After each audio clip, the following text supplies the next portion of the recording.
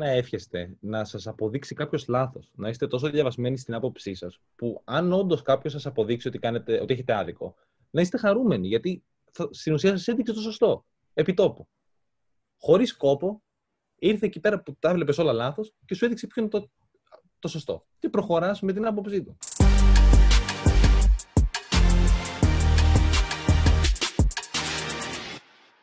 Γεια σας και καλώς ήρθατε σε ένα ακόμα Business Talks. Είμαι ο Δημήτρης και όπως πάντα είναι μαζί μου ο Χάρης και ο Άλεξ. Γεια σας Καλησπέρα. παιδιά. Καλησπέρα. Σήμερα έχουμε τη χαρά να είναι μαζί μας ο Γιώργος Βουδούρης. Καλησπέρα Γιώργο και ευχαριστούμε που δέχτηκε την πρόσκληση. Καλησπέρα, παιδιά. Μεγάλη μου τιμή. Ο Γιώργος, παιδιά, είναι ιδιοκτήτης των εκδόσεων Esoptron, μιας εκδοτικής που είναι από τις καλύτερες στην Ελλάδα στον τομέα της αυτοβελτίωσης. Έχει κυκλοφορήσει και πολλά γνωστά best-seller, κάποια από τα οποία έχουμε δώσει και εμείς αρκετές φορές σαν δώρο σε διαγωνισμούς όπως είναι ο Άνδρας Αξίας, η ευγενή τέχνη του να τα γράφεις όλα στα ξέρετε πια. Γενικά βιβλία του Mark Manson που είναι πολύ ωραία. Και πριν ξεκινήσει η ωραία κουβέντα που έρχεται, να πω σε αυτό το σημείο πως όσοι μας βλέπετε από YouTube και θέλετε να βοηθήσετε το κανάλι, κάντε ένα like στο βίντεο, γιατί έτσι δείχνετε στον αλγόριθμο του YouTube πως αυτό που βλέπετε είναι ποιοτικό και θα το προτείνει και σε περισσότερα άτομα. Και τώρα πάμε στα δικά μας. Γιώργο, ανέλαβες την Esotron πριν από τέσσερα χρόνια, όταν ήσουν περίπου 21 χρονών. Ναι. Σε τι κατάσταση βρισκόταν τότε η επιχείρηση και σε τι κατάσταση βρίσκεται σήμερα που είσαι 25. Τι να, τι να πω τώρα. Λοιπόν, ε, η, την επιχείρηση την κληρονόμησα από τον πατέρα μου. Τον έχασα το 2016 στις 29 Ιανουαρίου και ήμουνα 20, θα γινόμουν 21 το Μάρτιο, στις 24. Ε, όταν ξεκίνησε όλο αυτό, δεν ήξερα σε τι φάση ήταν η εταιρεία ακριβώς. Εγώ έβλεπα γραφεία, έβλεπα μαγαζί, έβλεπα δραστηριότητα, λέω εντάξει, ξέρω εγώ πόσο χάλια μπορεί να είναι. Δηλαδή, πέρα από το ότι χάνω ένα γονιό, πόσο πολύ θα αλλάξει η ζωή μου στο, σε όλο το υπόλοιπο. Και δεν είχα ιδέα, έτσι, πραγματικά. Ε, βρίσκω στην πορεία ότι δεν είχαμε εκδώσει βιβλίο για αρκετά χρόνια έξι χρόνια δεν είχαμε βγάλει καινούριο τίτλο, απλά ανακυκλώναμε τα παλιά. Τα περιοδικά που έχουμε, γιατί έχουμε και δύο μηνιαία περιοδικά, το Τρίτο Μάτι και το Hellenic Nexus, ε, χάνανε διαρκώς πωλήσεις μηνιαίως, με σταθερό ρυθμό. Και ο θάνατος του πατέρα μου, που ήταν ας πούμε, η main attraction, το, τα κείμενά του και ο τρόπος που παρουσίαζε, ήταν, ε, χάθηκε. Οπότε ήταν ακόμα πιο δύσκολο για μας τότε.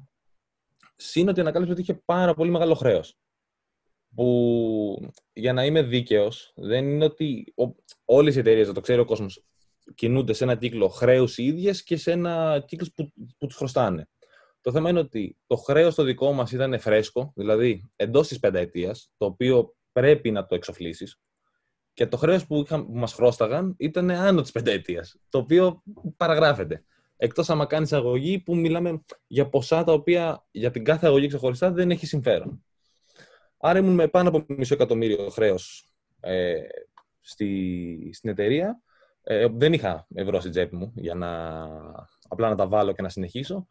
Οπότε έπρεπε ή να πετύχει όλο αυτό ή μάλλον θα ήμουν στον δρόμο αυτή τη στιγμή. Οπότε ξέρουμε να κάνουμε και ένα spoiler alert. Καταλαβαίνετε ότι μάλλον πέτυχε για να είναι εδώ μαζί μας. είναι πάρα πολύ ενδιαφέρουσα η ιστορία σου, είναι αλήθεια αυτό πώ ένας άνθρωπος που στην ουσία έχει πιάσει πάντως στη ζωή του και από συναισθηματικής άποψης που έχασε τον πατέρα του, αλλά και από τα χρέη, καταφέρει να φτάσει σε εκείνο το σημείο. Πώς θα περιέγραψες εσύ αυτή τη διαδρομή, δεν, δεν ξέρω τι θα ήταν πιο εύκολο για κάποιον άνθρωπο. Με την έννοια, θα ήταν πιο εύκολο για κάποιον να πιάσει πάτο από μόνος του ή να βρεθεί στον πάτο ξαφνικά όπως εγώ. Δηλαδή, εγώ στη ζωή μου θεωρώ ότι σαν νεαρός τα είχα κάνει καλά τα πράγματα. Ε, ήμουν ένα καλό παιδί, ήμουν καλός μαθητής, πέρασα σε καλή σχολή. Όλα, ξέρετε, κακός άνθρωπος δεν ήμουν, δεν πήραζα κόσμο. Και βρίσκομαι ξαφνικά στο, στο μάτι του κυκλώνα, στον πάτο εντελώς και με μορφή επιχείρησης. Να τα ακούει και το κοινό, για, άμα θέλει να ασχοληθεί με επιχειρήσεις. Ε, όμικρον ε, η οποία δεσμεύει την προσωπική σου περιουσία. Οπότε βρίσκομαι με όλη την περιουσία στο όνομά μου και μια εταιρεία με τόσο μεγάλο χρέος που αν δεν ξεχρεώσω θα χάσω τη δικιά μου περιουσία. Ε, δεν θα σας κρύψω ότι υπήρχαν πολύ σκοτεινές μέρες τότε. Έτσι, δηλαδή, το... απ' τη μία βρίσκομαι στην Πάτρα και έχω πάνω κάτω όσα θέλω. Ε, κινούμαι άνετος, ε, ζω σε ένα ωραίο σπίτι και μετά δεν έχω... Με, μετράω το, τα, τα 5 ευρώ για τη βενζίνη. Είναι πολύ δύσκολο. Απλά πρέπει να συνειδητοποιήσω ότι ε, εκεί απλά το κεφάλι πάνω και πας ευθεία. Υπομονή και έρχονται. Ήσουν επομένως αναγκασμένος να το κάνεις αυτό, δεν είχες άλλη επιλογή. Ναι, ναι.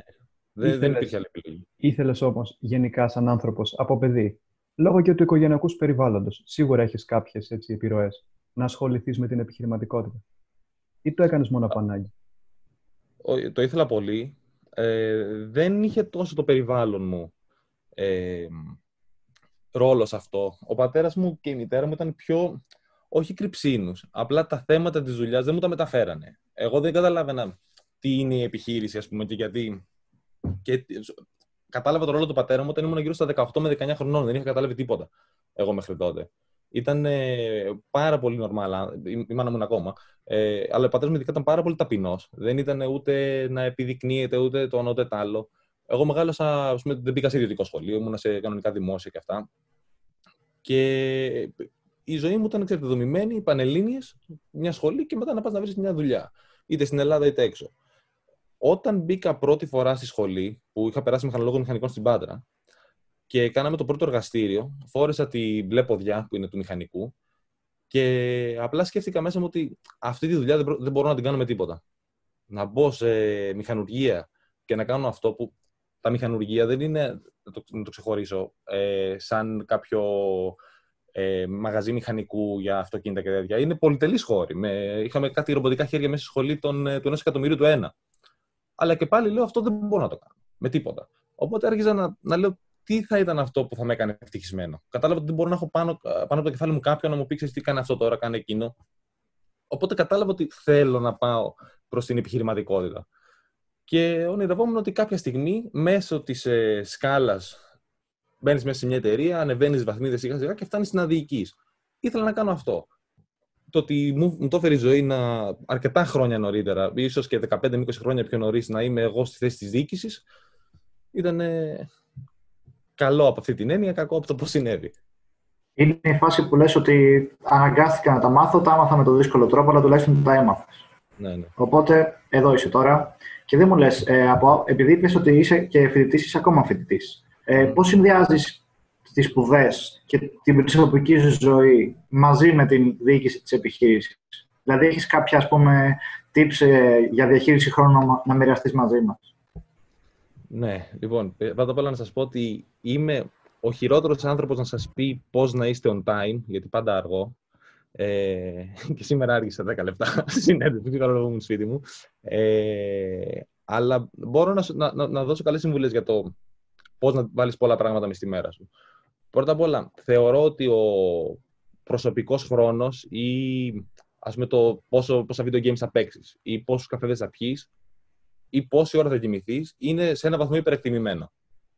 Τώρα που είμαστε μικροί και έχεις αντοχές, δεν θα κουραστείς. Θα κοιμηθείς 4-5 ώρες και θα ξυπνήσεις φρέσκος. Ε, Μπορείς να φορτώσεις την ημέρα σου με πολλά πράγματα. Και άμα όσο πιο. Στην αρχή θα είναι σίγουρα πάρα πολύ δύσκολο. Όσο πιο πολύ γνώση βάζεις μέσα στο κεφάλι σου, τόσο πιο εύκολο γίνεται στην πορεία. Απλά η μόνη συμβουλή για κάποιον άνθρωπο είναι να προσπαθήσει αυτές οι γνώσεις να έχουν κάποια σχέση μεταξύ τους. Δηλαδή, τώρα έχω την εταιρεία.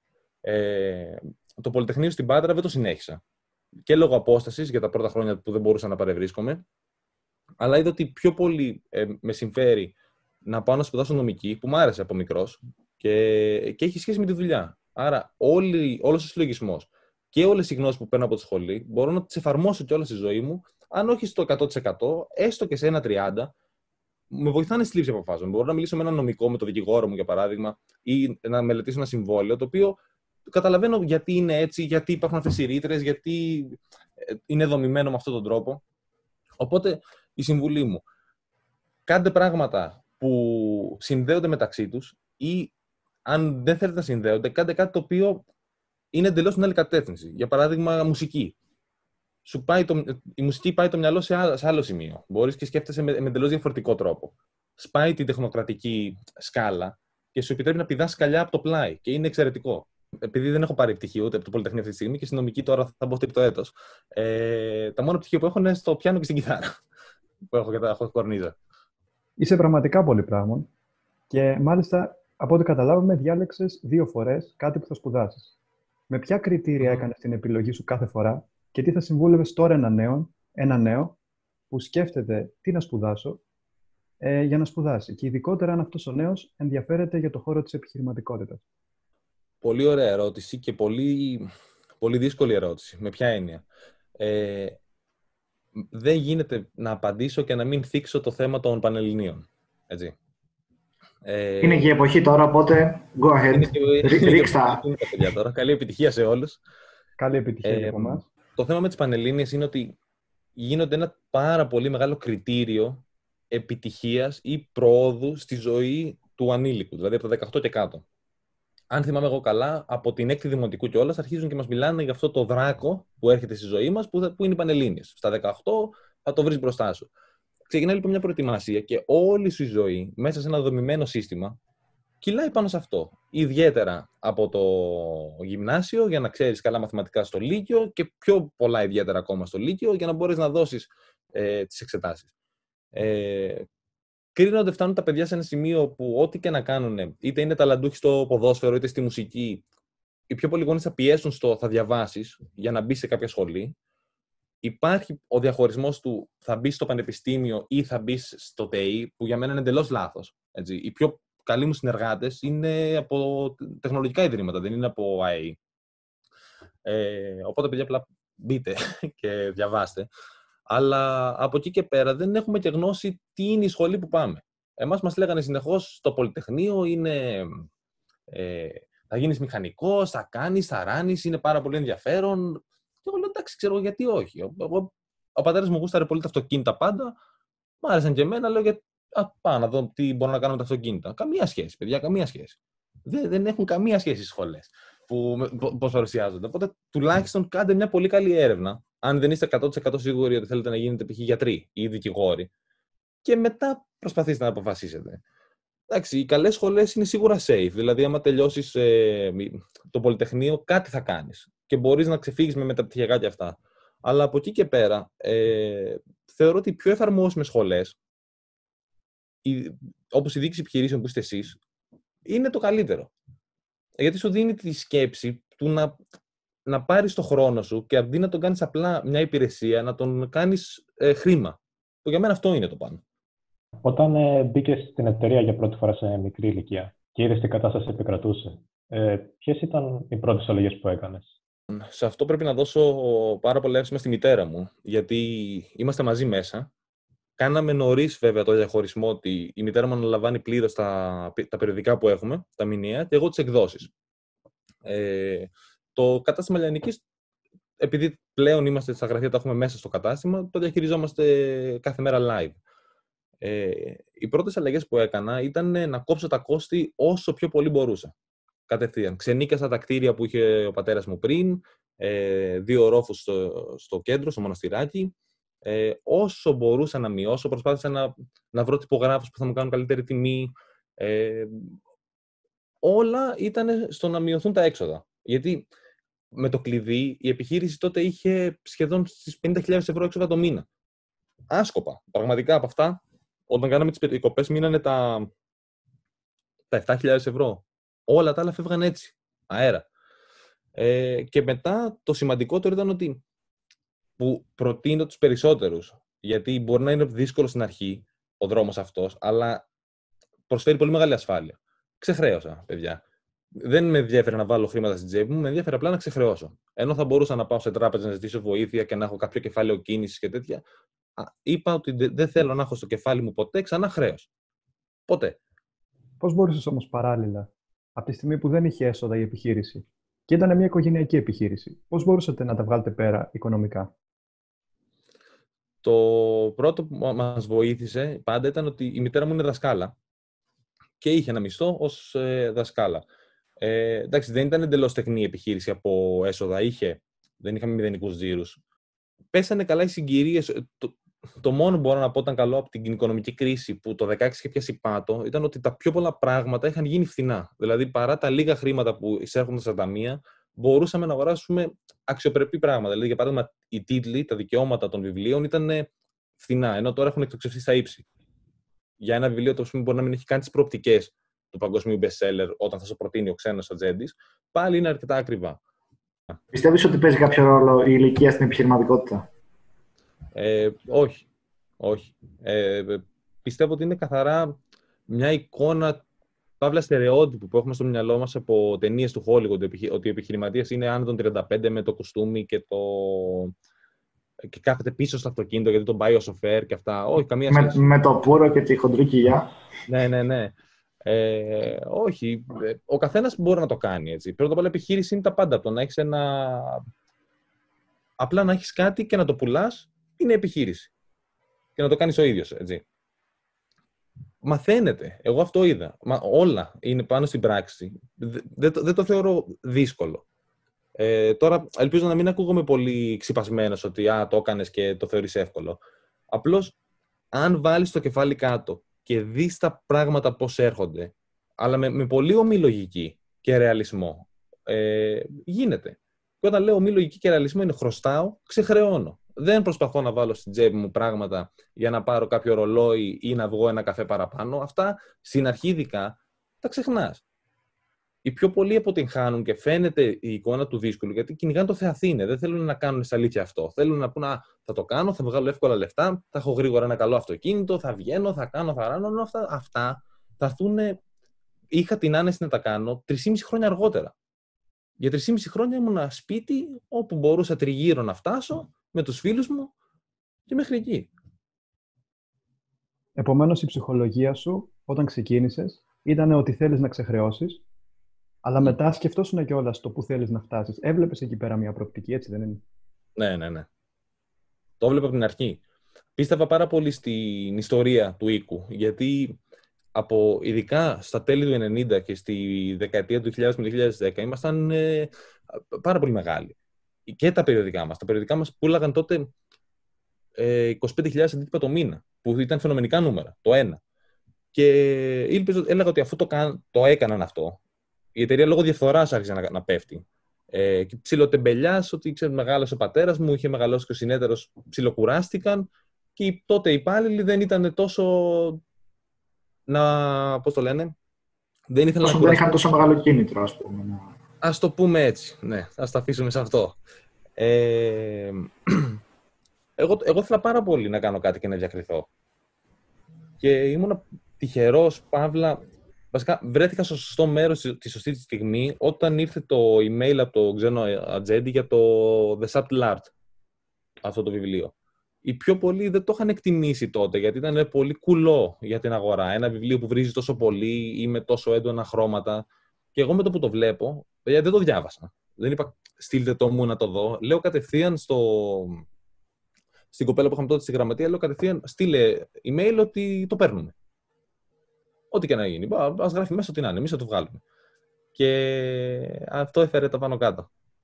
Μου δίνεις ωραίο πάτημα κιόλας εδώ να σου κάνω ακριβώς την επόμενη ερώτηση, που είναι κυρίως έτσι με λίγα, να μας δώσεις λίγα πιο insights για το τι γίνεται στον κλάδο ενός εκδοτικού οίκου. Δηλαδή, ε, ποιο είναι το επιχειρηματικό μοντέλο ενός οίκου; Αν εγώ π.χ. έχω αυτή τη στιγμή έτοιμο ένα βιβλίο, το οποίο είναι, ας πούμε, το έχω γράψει στο Word και θέλω να το εκδώσω. Να, θέλω οι εκδόσεις έσω να το εκδώσουν. Mm-hmm. Τι διαδικασία πρέπει να γίνει από μέρους σου και από μέρους μου για να βρεθεί αυτό το βιβλίο στα ράφια; Ωραία, αυτό είναι το, το πιο απλό.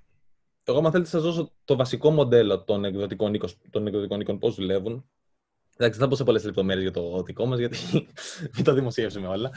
Τα βασικά, τα βασικά. Ναι, βασικά είναι ότι στην Ελλάδα κιόλας που είναι μια χώρα που ε, έχει και πρωτογενής παραγωγή βιβλίων, δηλαδή Έλληνες συγγραφείς, αλλά και θα πάρει και από το εξωτερικό, κυρίως αγγλόφωνου.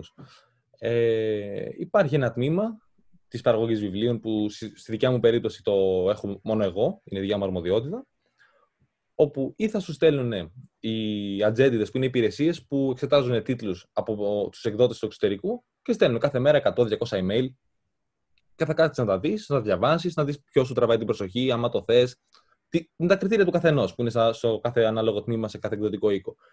Ή έρχονται νέοι συγγραφείς, Έλληνες, που έχουν γράψει κάτι και θέλουν να το εκδώσουν.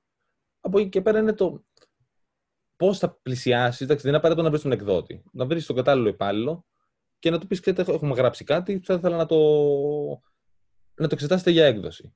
Δεν απορρίπτεται τίποτα. Δεν υπάρχει ο, κάτι, ας πούμε, στο στυλ ε, snob, ότι α, αυτό είναι εντάξει και θα το δούμε. Και Τα βλέπουμε όλα. Ό,τι και να μας έρθει, εμείς θα το διαβάσουμε. Ε, αυτό μετά είναι στα τέτοια του. Ο ίδιος ο εκδότης τι θα πει. Το να αντιπροσωπεύει, ας πούμε, να, να το δω, θα πω, α, αυτό εκφράζει και τις δικές μου εκδόσεις. Γιατί εγώ, εγώ κοιτάζω να βγαίνει συνεχόμενο νόημα από το κάθε βιβλίο που βγαίνουν. Μια συνοχή σαν οικοσύστημα στην εταιρεία. Όχι απλά, Α, αυτό είναι καλό. Δηλαδή, πραγματικά μου έχει τύχει να απορρίψω εξαιρετικούς τίτλους μόνο και μόνο επειδή δεν τέριαζαν με το προφίλ της εταιρείας. Και ήξερα ότι μπορεί να έκανα μια πολύ καλή αρπαχτή τώρα, αλλά σε 5-6 μήνες το κοινό θα έχει σκεφτεί μετά, ξέρεις αυτό γιατί μας το έβγαλε; Γιατί το δώσανε; Πώς, πώς προσφορές σας κάνουν, ας πούμε, κάθε μήνα, κάθε χρόνο; Και πόσες απορρίπτεται; Για βιβλία ένα. Πω, είναι αμέτρητες. Πραγματικά. Σκέψου ότι εννοείς Έλληνες συγγραφείς ή από τον ατζέντη στο εξωτερικό. Και τα δύο.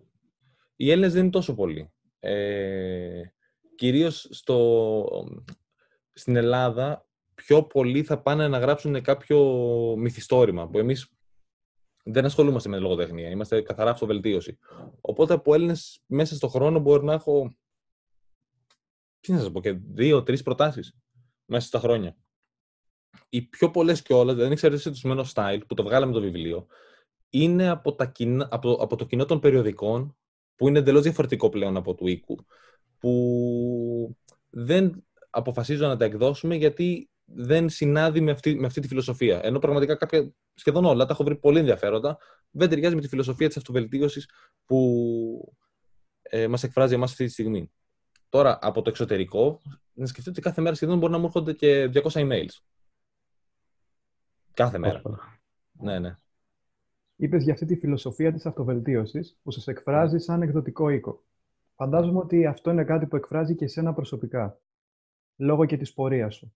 Ε, τι είναι για σένα η αυτοβελτίωση, πώς την έχεις βιώσει και τι συμβουλές θα έδινε σε κάποιον που θέλει να βελτιώσει τον εαυτό του και την καθημερινότητά του ή την επιχείρησή του; Για μένα η αυτοβελτίωση είναι το, το παν. Έτσι. Ε, συγκεκριμένα στα βιβλία έχω διαβάσει μυθιστορήματα. Με έχει βάλει ο πατέρας μου να διαβάσω μικρός πολλά.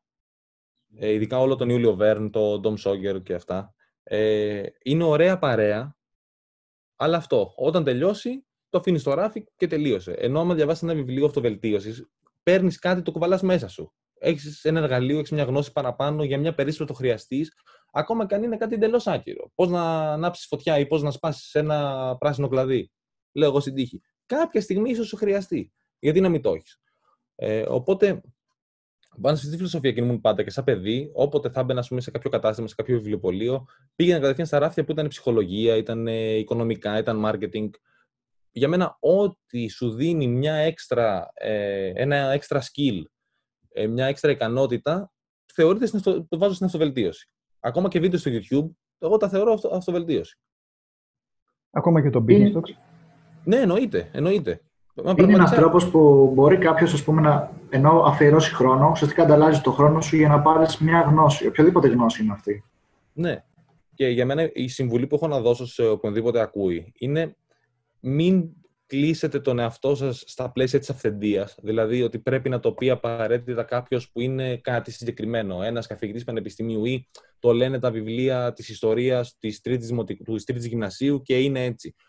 Ψάξτε πηγές. Πλέον με το ίντερνετ μπορείς να βρεις τα πάντα. Ε, το, που, μια μικρή παρένθεση. Το ίντερνετ έκανε καλό στο βιβλίο γιατί απέκλεισε το άσκοπο περιεχόμενο. Πλέον για να βγει ένα βιβλίο πρέπει να είναι πολύ ειδικό και δεν τη βρίσκεις αυτή τη γνώση ε, online. Αλλά εκτός από αυτό, online μπορείς να βρεις τα πάντα. Εγώ, η αγαπημένη μου σχολή είναι ότι κάθομαι και βλέπω βίντεο στο YouTube που αφορούν οτιδήποτε. Ε, από random facts μέχρι πώς η Τουρκία αυτή τη στιγμή κάνει sensor το ίντερνετ ε, στον πληθυσμό και ποιοι νόμοι το κάνουν, χωρίς λόγο. Ξέρω πόσο ζυγίζει η μέση Αλεπού, που είναι 6 με 7 κιλά. Δεν ξέρω πού θα μου φανεί χρήσιμο, αλλά το θυμάμαι εδώ και 5 χρόνια. Ταιριάζει και λίγο με τη συζήτηση που είχαμε κάνει σε ένα προηγούμενο business talks που λέγαμε για τα social media και γενικά το, το πόση γνώση υπάρχει αυτή τη στιγμή δωρεάν που μπορεί πραγματικά οποιοδήποτε να την εκμεταλλευτεί και είναι, είναι, είναι τόση πολύ γνώση. Ναι, Αλλά ναι. anyway, ναι. Ε, υπήρχε κάποιο low point ε, στην πορεία σου στις εκδόσεις; Ε, για παράδειγμα τώρα, ας πούμε, με τον ιό. Ποια ήταν η αντίδραση, ας πούμε, της αγοράς ε, όσον αφορά, ας πούμε, τα βιβλία; Ε, ε, ήταν, ας πούμε, πιο δεκτική στο να ξοδέψουν και να αγοράσουν εφόσον υπήρχε και αυτό το, το ότι θα κάτσω σπίτι, οπότε πρέπει να έχω κάτι να κάνω. Παιδιά, ναι, εγώ δεν μπορώ να παραπονεθώ. Η, η υγειονομική κρίση που ήρθε δεν ήταν ε, boost για εμάς, αλλά σίγουρα δεν μας έκανε κακό. Ο κόσμος έκατσε μέσα, είχαν όλη τη διάθεση ότι α, κάθομαι σπίτι και ξεκίνησα να κάνω γυμναστική, ξεκίνησα να, να, να καινούργια χόμπι. Οπότε η αυτοβελτίωση πήγε καλά, πήγε αρκετά καλά. Βέβαια, το, το πρόβλημά μας είναι ότι δουλέψαμε με τρεις από τους πελάτες μας μόνο, γιατί όλοι οι άλλοι που είναι βιβλιοπολία απλά κλείσανε λόγω των μέτρων ε, δεν θα χαρακτήριζα τη, την κρίση με τον κορονοϊό ως low point.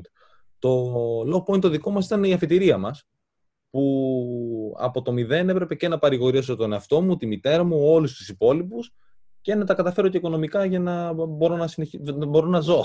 Έτσι. Μιλάμε δηλαδή για μια περίοδο η οποία είχε τεράστιο ψυχολογικό βάρος και είχε και πολλές ευθύνες. Γιατί σε μια πολύ τρυφερή ηλικία εντός εισαγωγικών, πολύ νέος, αναγκάστηκε να σηκώσει το βάρος μιας χρεοκοπημένης εταιρείας. Πώς το διαχειρίστηκες αυτό ψυχολογικά, Παιδιά, θέλω να, να σας πω ότι το πιο δύσκολο σε όλο αυτό ήταν ότι βρέθηκα εγώ και η μητέρα μου, που ήμασταν από το θάνατο του πατέρα μου τα... οι άμεση που το δεχτήκαμε αυτό. Είχαμε βρεθεί εμείς και ακόμα και τώρα να παρηγορούμε εμείς όλους τους υπόλοιπους. Οι υπάλληλοι τότε στεναχωρημένοι, χάσαμε τον κύριο Παύλο εμείς τι να πούμε; Εγώ δεν ήμουν ο γιος τι, τι να τους πω; Δεν, δεν πήγα να κλαφτώ σε κανέναν. Ε, ακόμα και οι συγγενείς μας. Εντάξει, προφανώς δεν αγαπούσαν τον πατέρα μου και οι γονείς της μητέρας μου, η αδερφή της, η αδερφή του πατέρα μου, αλλά σε, εμάς, σε σχέση με εμάς είναι, το, είναι το ίδιο. Αυτό ήταν που μου δημιουργούσε απορία στο ότι πώς γίνεται να έρχεται κάποιος και να μου λέει Εμένα δεν καταλαβαίνεις πώς νιώθω τώρα που έφυγε ο Παύλος. Εγώ δεν καταλαβαίνω πώς νιώθεις. Τέλος πάντων, να πω μόνο, με βλέπετε πολύ να χαμογελάω όταν τον αναφέρω τον πατέρα μου. Είχα πολύ καλή σχέση μαζί του. Και μου λείπει πολύ σαν φίλος, αλλά όχι σαν πατέρας. Θεωρώ ότι με κάλυψε πάρα πολύ. Γι' αυτό, γι αυτό δεν με βλέπετε να στεναχωριέμαι και έχω χαμόγελο. Ε, μετά στην, στο οικονομικό ήταν. δεν, ήταν πολύ σκοτεινά, παιδιά. Δεν, δεν ξέρω πώς να το περιγράψω αυτό.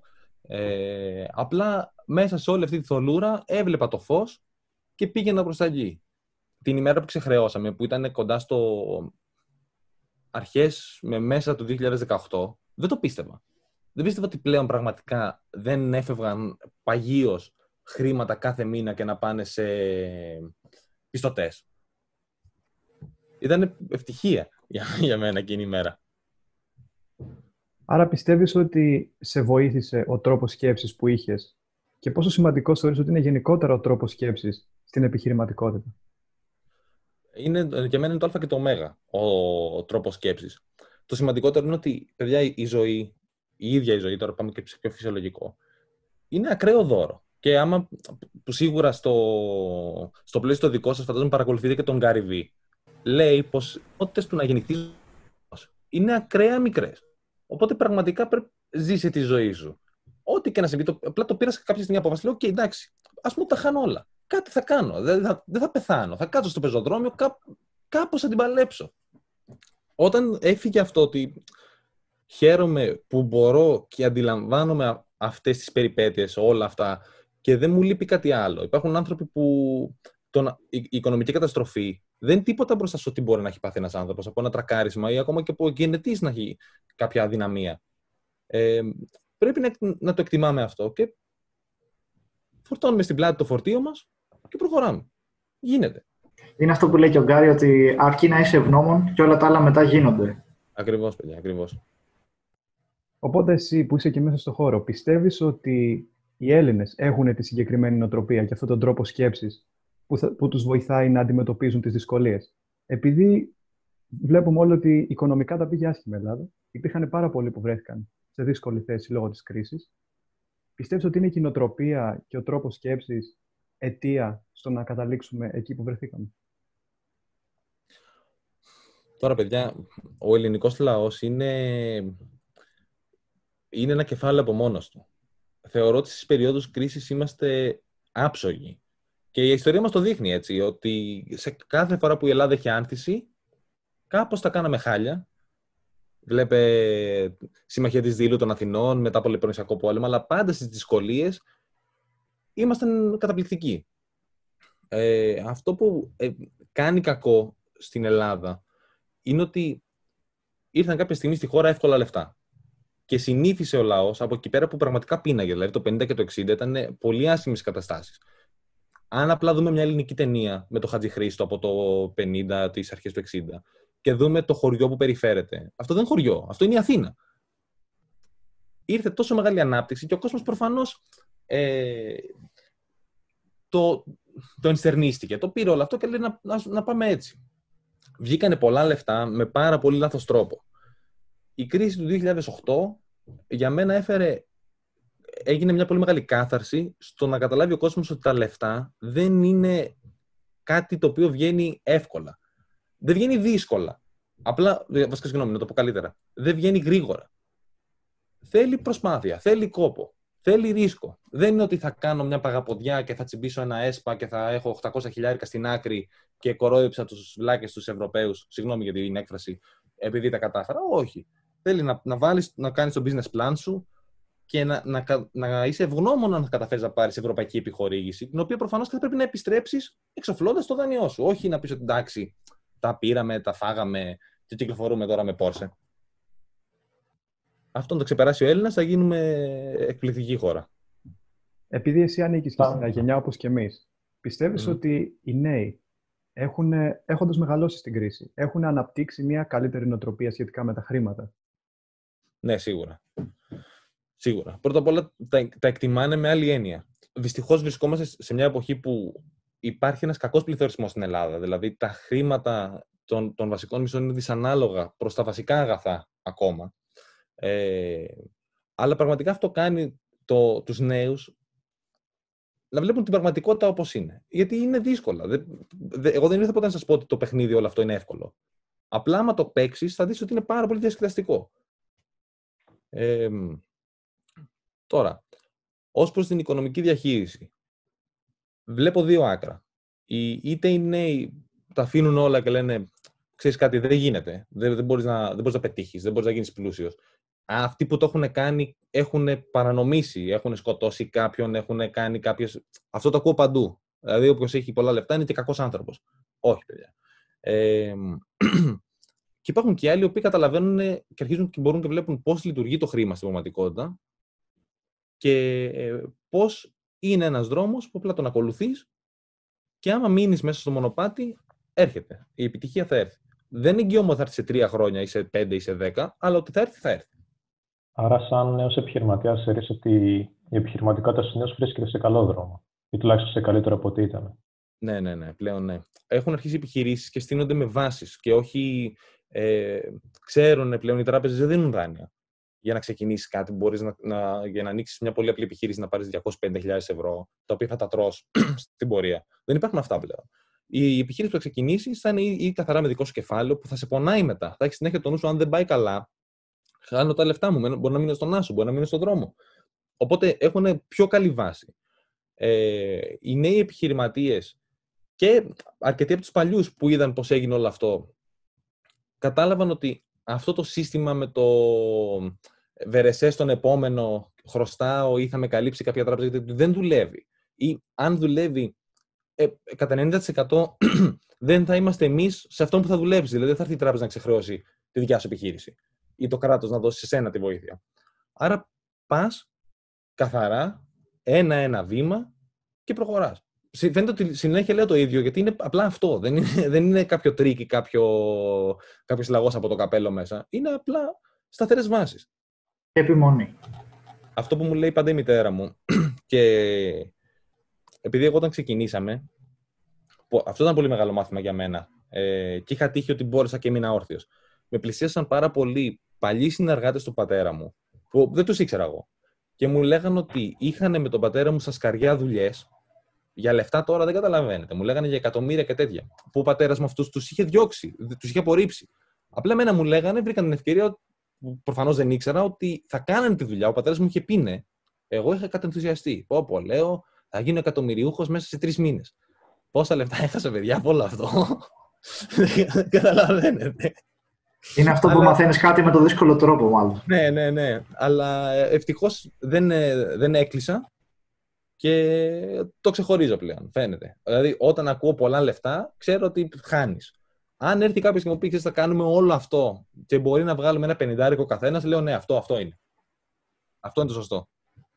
Λίγο πριν φτάσει αυτή η πολύ ωραία κουβέντα που έχουμε στο τέλος της, ε, θα ήθελα να μας δώσεις μια συμβουλή για το τι πιστεύεις πως θα έπρεπε να κάνει ένας νέος επιχειρηματίας. Δηλαδή, τι θα το συμβούλευε αν έπρεπε να του πεις ένα πολύ βασικό πράγμα. Μην ξεκινήσεις με χρέος. Μην σκεφτείς ότι ξεκινώντας με πολλά δάνεια και τέτοια. Είμαι υπέρ των δανείων. Με λογική. Έχεις το πλάνο σου, έχεις συγκεκριμένα πράγματα που θέλεις να κάνεις, πάρε το δάνειο και θα το εξοφλήσεις. Αν έχεις κάνει λάθος σε, σε τέτοια διαδικασία, σε τέτοιο σχεδιασμό, δεν πειράζει. Είναι μάθημα. Και θα προχωρήσεις μετά στη ζωή σου. Μην πας να ξεκινήσεις με φανφάρες. Μην κυνηγάτε τα, τις πολυτέλειες, τα μεγάλα γραφεία. Δηλαδή, κάποιος π.χ. που φαντάζεται ότι θα ανοίξει μια επιχείρηση δεν μπορεί να διανοηθεί ότι θα δουλεύει σε ένα υπόγειο. Θα δουλεύει σε ένα υπόγειο. Η Amazon και η Apple ξεκινήσαν και η Microsoft ξεκινήσαν από γκαράζ. Ακόμα δεν έχει αποδείξει κανείς από εμάς ότι είμαστε καλύτεροι από τον Gates ή τον Jobs ή τον Jeff Bezos. Οπότε ταπεινά και σιγά σιγά. Πρέπει τα αγαθά της πολυτέλειας, αυτοκίνητα, κτίρια, γραφεία, να είναι το, το πολύ τελευταίο. Δηλαδή να σε πάρει ο λογιστής και να σε βρεις, να σου πει: Ξέρεις τι πρέπει να ξοδέψεις κάπου λεφτά γιατί δεν γίνεται. Μόνο τότε να πας να τα πάρεις. Εντάξει, τους καφέδες και αυτά θα, θα αρχίσει. Όσο έρχεται η επιτυχία, θα, ας πούμε, θα, από το ένα από τη γειτονιάς σου θα πας στην άλλη γειτονιά. Θα πας κάπου καλύτερα. Αυτό. Ταπεινά και με ευγνωμοσύνη. Αυτά που λέω Γκαριβή βασικά για μένα είναι full σωστά. Οπότε νομίζω κάλυψες και, φι... και πλήρως την ερώτηση. Δηλαδή, ό,τι λέει ο Γκαριβή δεν υπάρχει Α, να, να πω μόνο να κοιτάξετε να είστε σωστοί. Τι εννοώ σωστός. Ο σωστός δεν είναι απαραίτητα ο καλός. Μπορείς σε κάποιον άνθρωπο να πρέπει να φωνάξεις. Μπορεί να πρέπει να τον βρει. Αυτό είναι το σωστό. Έχουμε μπλέξει τις έννοιες του καλού και του κακού με το σωστό και το λάθος. Σου κάνει κάποιος ε, πελάτης, συνεργάτης, υπάλληλος, συνέτερος, οτιδήποτε. Αν σου κάνει κάτι λάθος, πρέπει να, να τα αποδώσει, όχι εκδικητικά, οφθαλμός αντί οφθαλμού αλλά στα πλαίσια στα οποία δικαιούσε. Δεν σε πληρώνει ένα πελάτης. Δεν θα το κάνεις χάρη στο να πεις: OK, συνεχίζω να σου στέλνω το εμπόρευμα. Μόνο άμα του συμβεί κάτι πολύ άσχημο. Δηλαδή να πεις: Ξέρεις τι, ο κορονοϊός. Ναι, θα δείξει κατανόηση στους πελάτες σε κάτι τέτοιο. Αν απλά ο άλλος δεν σε πληρώνει χωρίς λόγο, δεν θα συνεχίσει η συνεργασία. Και πιο, οι πιο πολλοί χάνονται συναισθηματικά μέσα σε αυτά. Εντάξει, μωρέ, ε, τι να κάνουμε, ας τον βοηθήσουμε, ας το δώσουμε. Και μπλέκουν και οι υπάλληλοι μέσα, που θα πει ένας υπάλληλος ε, ρε αφεντικό σιγά. Όχι. Σωστά σε έναν έναν ξεχωριστά. Και στη ζωή μας πάνω απ' όλα. Πολύ ωραία αυτή η τελευταία συμβολή. Την, την κάταγες έτσι ωραία, ωραία για το τέλος. Και είναι κάτι που δεν το ακούμε και συχνά. Το ότι μπλέκουμε το, το κακό με το σωστό, ας πούμε. Ναι. Ναι, μας έβαλες σε μια δική σου φιλοσοφία δηλαδή. Και αυτό είναι που θέλουμε αυτό... και όλες να παρουσιάσουμε στον κόσμο. Γιατί κάθε άνθρωπος έχει, που έχει φτάσει, έχει καταφέρει κάποια πράγματα, έχει και μια δική του φιλοσοφία το έχουμε όλοι στο νου μας. Επειδή μου έδωσε το πάτημα για την προσωπική μου φιλοσοφία, που είναι, είναι απλά αυτό. Να είσαι πάντα σωστός στα πλαίσια σου. Δηλαδή, ξέρεις για παράδειγμα, ο Χάρης ξέρει για μια κοπέλα μπορεί να τσακωθεί. Αν στο Χάρη εκείνη τη στιγμή βγει να φωνάξει και δεν φωνάξει, είναι λάθος. Δεν θα κοιμηθείς καλύτερα το βράδυ λέγοντας Α, ναι, δεν της φώναξα. Όχι, θα πεις έπρεπε, πνίγομαι αυτή τη στιγμή γιατί δεν το έκανα. Προς Θεού δεν λέω να δρούμε με ένστικτο γίνεται κάτι και απλά αντιδράμε. Αλλά αν όλα που θα βάλεις στο μυαλό σου μέσα από μια σκέψη καταλήξεις ότι είναι αυτή τη στιγμή πρέπει να φωνάξω ή αυτή τη στιγμή πρέπει να βοηθήσω, αυτό πρέπει να το κάνεις. Και θα συνεχίσεις τη ζωή σου ήρεμος πάντα. Είτε είναι γυναίκες, είτε είναι επιχειρήσεις, είτε είναι φίλοι. Πιστεύεις δηλαδή ότι μέσα από ένα τσακωμό μπορεί ας πούμε ε, μια ανθρώπινη σχέση να βγει καλύτερη από ό,τι ήταν πριν; Ναι, παιδιά, εννοείται. Τι, τι λέτε. Πρώτα απ' όλα, οι πιο πολλοί φίλοι μου που έχω από την παιδική ηλικία είναι τα παιδιά που είχαμε πλακωθεί στο ξύλο κάποια στιγμή στο δημοτικό. Έτσι. Ε, για μένα ο τσακωμός δεν είναι ρήξη της σχέσης. σα ίσα. Απλά στο, στο, στο τσακωμό πρέπει να έχεις πάντα σεβασμό. Ο, ο τσακωμός στην ουσία τι είναι, είναι ένας διάλογος με μεγαλύτερη ένταση. Ποτέ, μα ποτέ, δεν πρέπει να προσβάλλεις το ήθος του συνομιλητή σου. Πάντα και μόνο τα επιχειρήματά του. Και να, να προσπαθεί ο καθένας να έχει στο μυαλό του τεκμήρια και γεγονότα για να εκφράσει την άποψή του, τα οποία αντιπροσωπεύουν την πραγματικότητα. Και θέλω να, να σταθούμε σε αυτό, γιατί, παιδιά, θα μου πείτε, τι, τι μας λες τώρα, φίλε, προφανώς. Όχι, ο κόσμος, ο πιο πολλή κόσμος αγνοεί την ίδια την πραγματικότητα. Θα ακούσεις απόψεις, οι οποίες λε, κάτσε μισό λεπτό. Δεν, δεν γίνεται αυτό που μου λες. Αυτό, αυτό που ακουμπάω είναι γυαλί. Δεν γίνεται να μου λες ότι είναι ξύλο. Θα το ακούσεις. Δεν θα τον, δεν θα τον προσβάλλεις στην νοημοσύνη. Δεν θα πεις κάτι τέτοιο. Θα του πεις γι' αυτό και γι' αυτό το λόγο έχουν δείξει ότι αυτό εδώ λέγεται γυαλί. Αν δεν μπορεί να το καταλάβει, πρέπει να φύγει. Ο Αϊνστάιν είχε πει πως δεν μπορείς ποτέ να, και δεν πρέπει ποτέ να λογομαχείς με έναν ηλίθιο, γιατί θα σε ρίξει στο επίπεδό του και θα σε κερδίσει λόγω εμπειρίας. Οπότε προσοχή. Η αλήθεια είναι ότι πρώτη φορά το ακούω αυτό και μου φάνηκε αστείο. Νομίζω, Εντάξει, είναι, είναι λίγο, ξέρεις τι, είναι γνωστό ρητό. Απλά τώρα προσπαθώ να σκεφτώ άμα ήταν το Einstein ή άμα είναι κάποιο, ξέρεις, απόφθεγμα που και καλά το είπε, αλλά δεν είμαι σίγουρος. Πάντως, ας κρατήσουμε το απόφθεγμα που είναι πολύ σωστό για μένα και αν το πάει, Einstein, καλώς. Αν δεν το είπε, πάλι σωστό είναι για μένα το. Ναι, ναι, γιατί εγώ το, το, διάβαζα στο ίντερνετ που είναι το quote και ο Einstein από πίσω, οπότε μπορεί να κάνω και λάθος. ναι, ναι, είναι, είναι πολύ επικίνδυνο. Γι' αυτό και εμείς όταν ε, βάζουμε τα quotes στο ίντερνετ, στο Instagram κυρίω που τα βάζουμε, mm. που είναι κάτι που το έχει πει κάποιος, ψάχνουμε να δούμε αν όντως αυτό το έχει πει. Γιατί πολλές φορές έχουμε απορρίψει ή έχουμε βρει ένα πολύ ωραίο quote, ένα πολύ διάσημο πρόσωπο. Λέμε, ωραία, αυτό θα τραβήξει κόσμο, αλλά όχι είναι ψεύτικο. Δεν πρέπει να το δείξουμε στον κόσμο ότι όντως το είπαμε. Ναι, ναι, ναι. Πάντως, από την προηγούμενη κουβέντα που είχαμε τώρα, θα ήθελα να κρατήσουμε από αυτά που είπε ο Γιώργος, δηλαδή, ότι το πιο σοβαρό, ας πούμε, για μια ανθρώπινη διαμάχη είναι το ότι πρέπει να δείξεις στον άλλον ότι δεν είναι ο ίδιος σαν άνθρωπος που διαφωνείς μαζί του, αλλά διαφωνείς μαζί με το επιχείρημά του, όχι με εκείνο. Ακριβώς. Δηλαδή, να κρατήσουμε αυτό και νομίζω όλα τα άλλα ε, θα πάνε καλά. Πρέπει να εύχεστε να σας αποδείξει κάποιος λάθος. Να είστε τόσο διαβασμένοι στην άποψή σας, που αν όντως κάποιος σας αποδείξει ότι, κάνετε, ότι έχετε άδικο, να είστε χαρούμενοι, γιατί θα, στην ουσία σας έδειξε το σωστό. Επιτόπου. Χωρίς κόπο, ήρθε εκεί πέρα που τα έβλεπε όλα λάθος και σου έδειξε ποιο είναι το, το σωστό. Και προχωράς με την άποψή του. Ο πατέρας μια, μια φορά είχε έρθει σπίτι και αυτό μου είχε μείνει από μικρός. Είχε πει, ήταν πάρα πολλά, σε πάρα πολλά συνέδρια, σε σεμινάρια και λέει όταν μιλάω με έναν άνθρωπο, όταν καταλήγουμε σε μια σοβαρή συζήτηση, στο τέλος αυτής της συζήτησης πρέπει ή αυτός να ακολουθεί αυτό που λέω εγώ ή εγώ να ακολουθώ αυτό που λέει εκείνος. Ακόμα και αν διαφωνώ εντελώς. Και δεν καταλάβαινα τι ήταν το τόσο wow σε αυτό που είχε πει, γιατί μου φαινόταν πάρα πολύ λογικό, σαν, σαν μικρό παιδάκι. Λέγα, ναι, αυτό δεν είναι. Και όμως δεν συμβαίνει πρέπει να είμαστε διατεθειμένοι ότι αν ακόμα εκείνη τη στιγμή, αν ο άλλος κάνει λάθος, αλλά σε πει επειδή εσύ δεν είσαι καλά διαβασμένος, θα δεχτείς αυτό που λέει και μετά πρέπει να διαβάσεις κι άλλο για να τον ξαναβρεις και να του πεις: Ξέρεις τι, έτσι είναι τα πράγματα. Πολύ σωστό και αυτό. Και δεν το ακούμε και συχνά, νομίζω. Διάβασμα. Διάβασμα. Γενικά έχεις δώσει πάρα πολύ αξία, πάρα πολλά μαθήματα έτσι, που μπορεί να βοηθήσουν τους σίγουρα και μας θα, μας, θα μας πούνε και στα σχόλια. Παιδιά, άμα θέλετε να ξαναδείτε τον Γιώργο στο Business Talks, ευχαρίστως να ξανάρθει, ε, να μας το γράψετε στα σχόλια. Ε, και τώρα, πριν φτάσει η κουβέντα μας στο τέλος, θα θέλαμε να κάνουμε με τον Γιώργο ένα ωραίο δωράκι στους ακροατές του Business Talks. Γιώργο, θα δώσουμε δύο βιβλιαράκια, είπαμε, του Mac Manson και τα δύο, best seller. Ναι. Ε, το ένα είναι η ευγενής τέχνη του, τα γράφεις όλα, ξέρετε πού.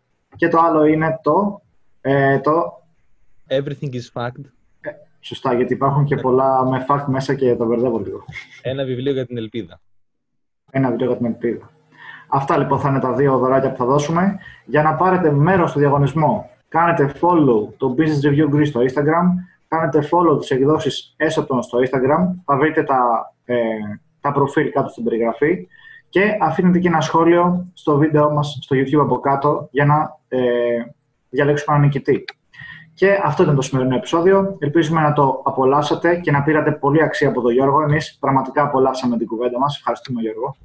Εγώ ευχαριστώ, παιδιά, και ελπίζω έστω και με ελάχιστα να βοήθησα κάποιον άνθρωπο. Πιστεύω ότι όντως το έκανες. Θα μας πούνε και οι άνθρωποι από κάτω. Αν σας άρεσε το βίντεο, μην ξεχάσετε να κάνετε ένα like και μια εγγραφή στο κανάλι για να μην χάσετε και τα επεισόδια που έρχονται. Και μέχρι το επόμενο επεισόδιο, τι να κάνουμε, Χάρη; Μέχρι το επόμενο επεισόδιο, βλέποντας και το Γιώργο, ο οποίος κατάφερε και πέτυχε τα όνειρά του. Μέχρι το επόμενο επεισόδιο, λοιπόν, να είστε όλοι καλά και να κυνηγάτε τα όνειρά